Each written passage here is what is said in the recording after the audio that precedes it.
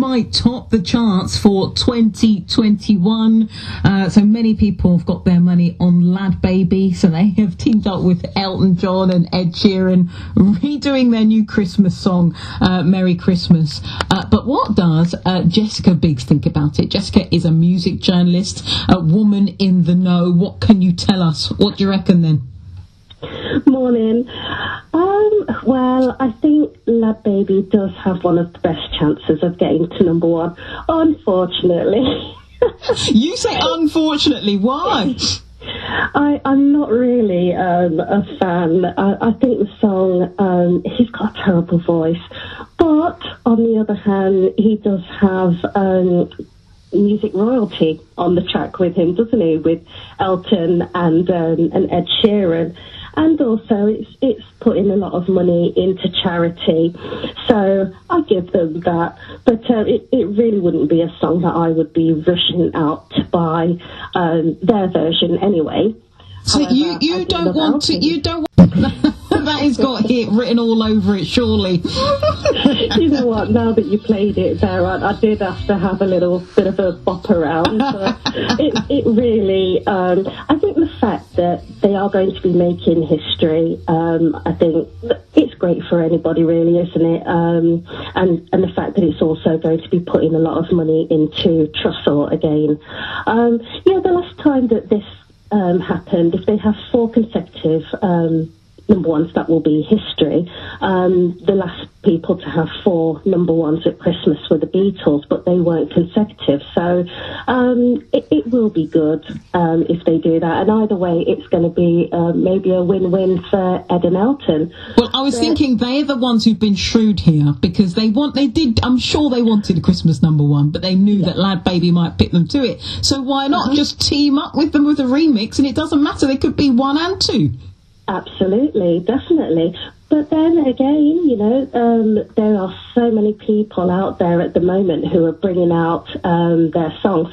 And so the charts this year is just, it's really, I think it's got a, a really nice, festive, magical feel to it with the top 20. It's just so many um, songs in there that have, have, come back again, you know, like um, there's there's like a, there's Adele there, obviously, but um, we've got Olivia Dean is um, bringing a new track in um, called This Christmas Song. So that's a reissue of a Nat King Cole's hit. Uh, George Ezra, which you played earlier. He's got um, Come Home for Christmas, which remember when Bon Jovi did that years ago? Yeah. Got to number seven. So it'll be interesting to find out where George Ezra comes this year. Um, Elton Step Into Christmas has come back. Um, Band Aid are back again. So many.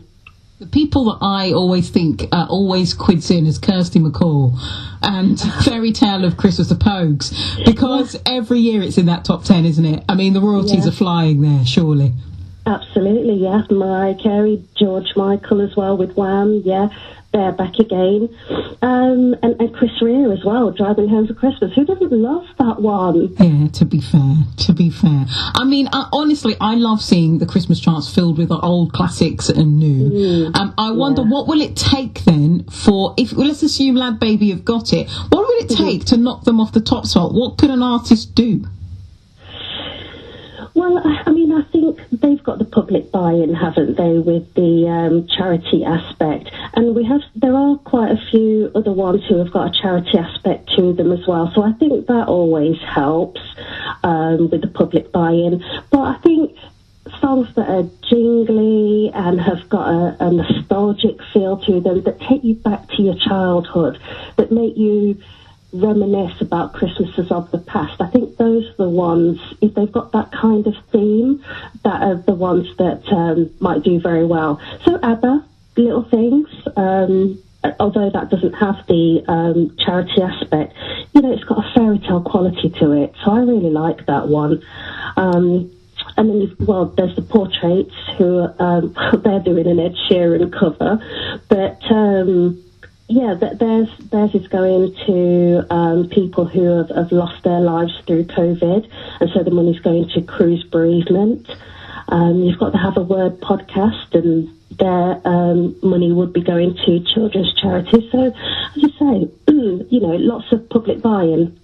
Jessica, it's been great to talk to you. Jessica Biggs is a music uh, journalist there, pointing out, that there are lots of other charity singles out there that you might want to support this Christmas.